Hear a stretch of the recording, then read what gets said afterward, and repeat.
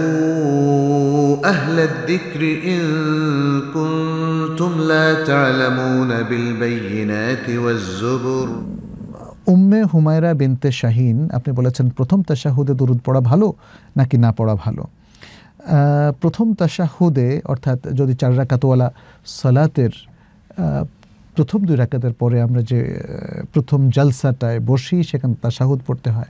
সেই তাশাহুদের সাথে দূরত পড়ব কি না, এটা নিয়ে ওলামায় কেরামে দুটো কাউল আছে। একটা কাউল হচ্ছে, প্রথম তাশাহুদে, তাশাহুদের উপরে আর কোনো কিছু করা জায়েজ নেই এবং করা উচিত হবে না, এটাই হচ্ছে জমহুর ওলামাই কেরামের অভিমত, যাদের মধ্যে রয়েছেন আল হানাফিয়া ওল মালিকিয়া ওল হানাবেলা এবং ইমাম শাফির পুরাতন কাউল অনুযায়ী এবং এটা সালাফের একদল ওলামা স্পষ্ট করে বলেছেন এবং এত অধিক সংখ্যক ওলামাই কেরাম এই মতের পক্ষে মত ব্যক্ত করেছেন যে কারণে ওলামাইকেরামের কেউ কেউ বলছেন, এ ব্যাপারে এজমা হয়েছে যদিও সত্যিকার অর্থে এজমা আসলে হয়নি।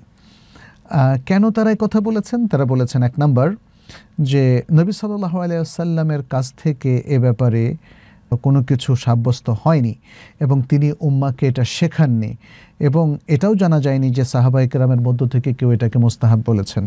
দ্বিতীয় হচ্ছে, যদি এইটা এই জায়গায় তাসাহুদের উপরে দরুদটা এই জায়গায় যদি শরীয়তসম্মত হতো, তাহলে দোয়াটাও শরীয়তসম্মত হতো, কারণ প্রত্যেক দরুদের সাথে দোয়ারও সুযোগ রয়েছে। কারণ তাশাহুদ আউয়াল এবং তাশাহুদ আখিরের মধ্যে তো কোনো পার্থক্য নেই। যদি তাশাহুদ এই তাশাহুদের সাথে দরুদ হতো তাহলে দোয়াও করা যেত যেমন তাশাহুদ আখিরের সাথে দরুদ আছে তাই দোয়াও করা হচ্ছে। তিন নম্বর তারা বলছেন যে আত্মাশাহুদ আল আউয়াল এটাকে রাখা হয়েছে জাস্ট একটা হালকা আমল হিসাবে।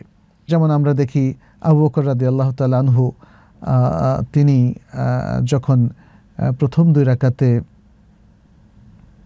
বসতেন তখন তিনি অল্প সময় বসে আবার উঠে যেতেন।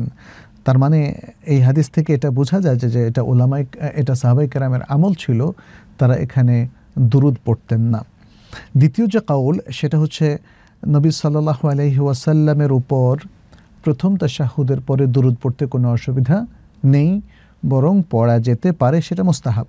এটা শাফি মাজহাবের অভিমত এবং এছাড়াও আল আজুরি এবনু হাজাম এবনু বাজ রাহেমাহুল্লাহ সহার প্রমুখ ওলামাই কেরাম এ মতের পক্ষে মত ব্যক্ত করেছেন। সেখানে আমরা দেখি যে তারা দলিল হিসাবে তিনটা জিনিস উল্লেখ করেছেন। এক, আল্লাহ সুবাহ তালা মোমিনদেরকে ইয়াইহুল্লাদিনা আমানু সল্লু আলহি ওসাল্লিম তাসলিমে কাউলের মাধ্যমে সলাত এবং সালাম দুটোই পড়তে বলেছেন। সুতরাং যখনই সালাম পড়া হবে, আসসালাম আলাইকা তার তাসাউদের মধ্যে আছে, তাই না? তখনই তার উপর সলাতও পড়া যাবে। সলাতটাই হলো দুরুদ।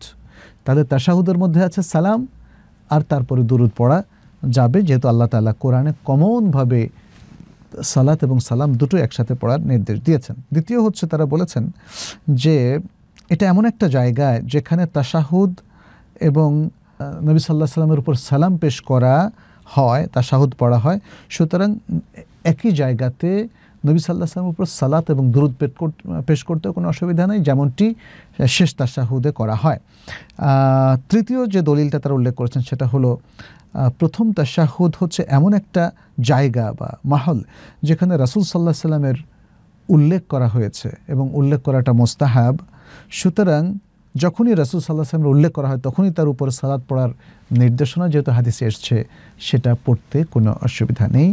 তো এই দুটো অভিমত আমরা পেলাম। দেখা যাচ্ছে যে দুটো অভিমতের পক্ষে যথেষ্ট যুক্তি এবং শক্তিশালী অবস্থান রয়েছে। অতএব ব্যক্তি যে কোনোটাই করতে পারেন, তবে আমরা বলব যেহেতু জমহুর ওলামাই কেরামের বক্তব্য এখানে খুবই স্পষ্ট এবং তুলনামূলক শক্তিশালী বলে আমার কাছে প্রতিভাত হয়। তাহলে আমরা প্রথম তাশাহুদে অর্থাৎ প্রথম জালসায় তাশাহুদটাই পড়ব। আমরা আসলে দুরুদটা পড়ব না এবং দুরুদটা আমরা শেষ তাশাহুদ বা তাশাহুদ আখের জন্য রেখে দেব।